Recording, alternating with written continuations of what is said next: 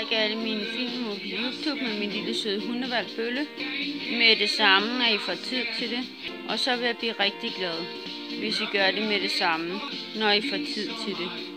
Med min lille søde hundevalg Bølle.